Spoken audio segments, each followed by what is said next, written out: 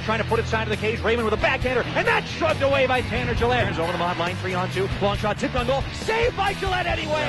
But now Rassel tries a turnaround shot from the high slot. That's off his stick. Still loose in front. Riley Point is robbed point blank by Tanner Jaillet. And he In Red Deer, uh, it was like little tykes hockey. I had to play player, but every time it was my turn to play goalie, I was just so excited to. Every time the coach would ask, I'd want to.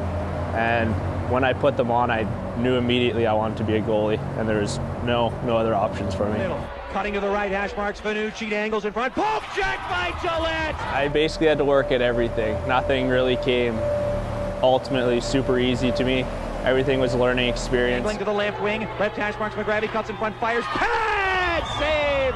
Tanner Jaillet. My route through minor hockey wasn't the easiest. You know, I got cut from some of the the top teams, which was obviously frustrating and didn't like it. But looking back, it was probably the best thing that could have happened because playing on those weaker teams, I was able to get 60 shots a game, and I was able to grow as a goalie and as a person, and ultimately shape me into the goalie I am today.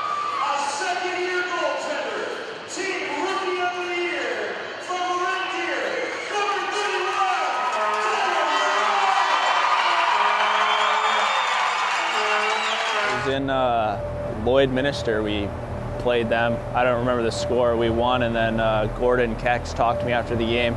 We stayed an extra day to watch uh, them play uh, Red Deer Midget Triple A's, and that was the first time I saw them play. And uh, we spoke to Tanner after that game, and then uh, just kind of followed along and pursued him until we were able to sign him. And I had honestly didn't even know where Fort McMurray was or anything like that. And then so I went home and kind of Googled them a bit. I'm like, yeah, that sounds like a fun place to go. Nice kid. I was very thankful for the opportunity to talk to a junior team, and uh, seemed very polite. Um, seemed very interested.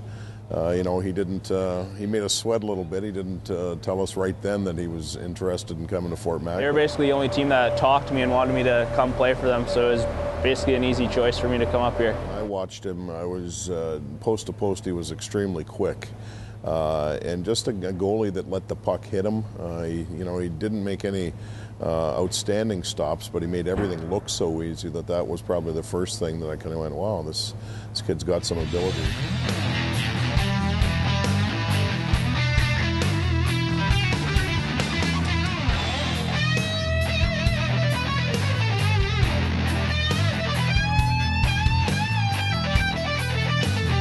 Team I've ever played played on. They we were just we were unreal basically, and we were so relaxed all the time. We had uh, kind of a silent confidence that we we knew we were going to win every game, and I just tried to give uh, the team a chance to win every game, and it just it just worked out that way. That those the numbers came the way they did.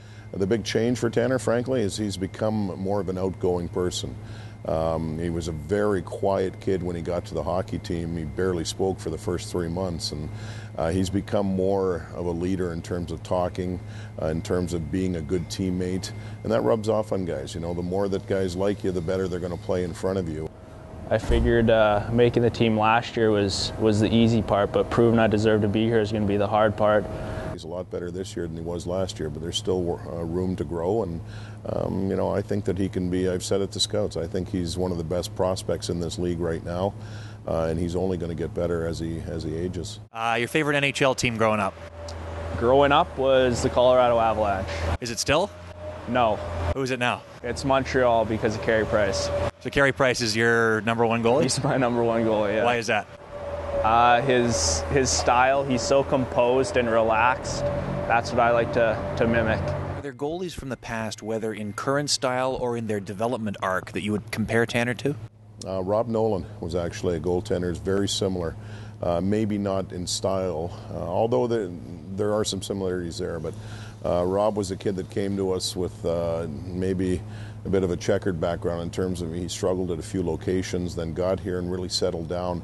After his first year, he just kept getting better and better, and then ended up going to Michigan Tech on a full scholarship when he was 20. And Tanner's path is very reminiscent of Rob's.